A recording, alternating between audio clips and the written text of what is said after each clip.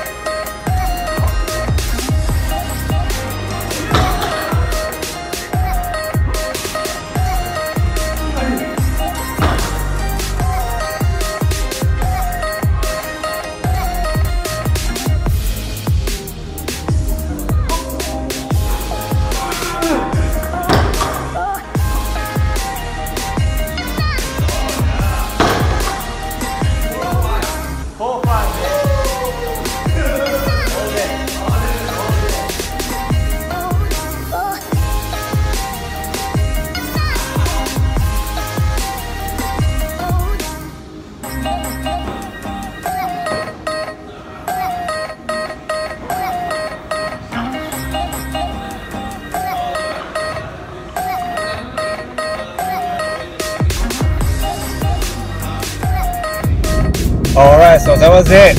Um, I didn't feel bouncy, but I think I was getting up there okay. Like I told you all, um, I'm going to San Diego this weekend to see my friends and uh, hooping, so I hope I've been in a good shape then.